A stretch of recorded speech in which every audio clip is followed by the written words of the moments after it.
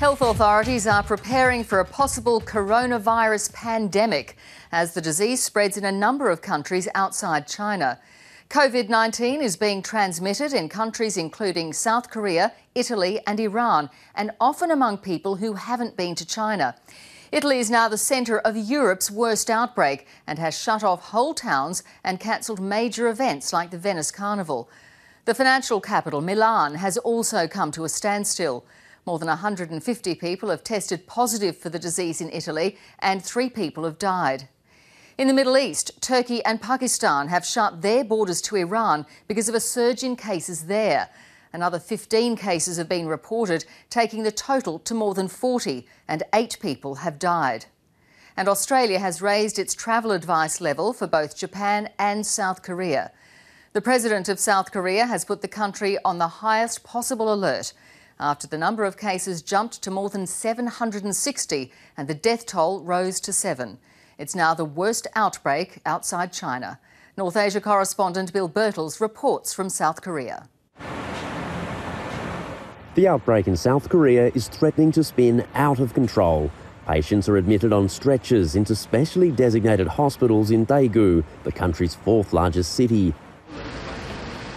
Outside, ambulances line up to be disinfected each with a sick patient inside. The president raised the country's alert level so the government can lock down cities and restrict the movement of people. We are faced with a watershed moment in the case of the coronavirus. The coming few days will be a critical time for us.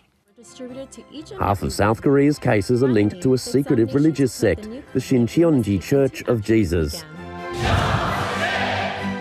In its official videos, the church proudly shows off its quarter of a million members taking exams. The light of life will shine in the whole world.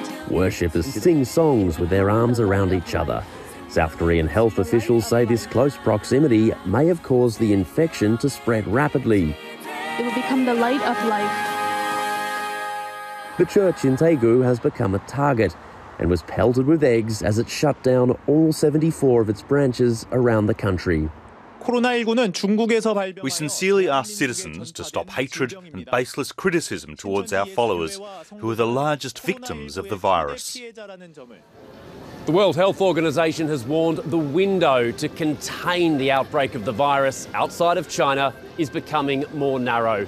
As the number of infections here increase, the pressure on South Korea's government to lock down cities and stop transport will only increase. Unlike Australia, Chinese citizens are still flying directly into the country. They're being screened, but many here say that's not enough. But with so many cases now in South Korea, containment rather than prevention is the focus.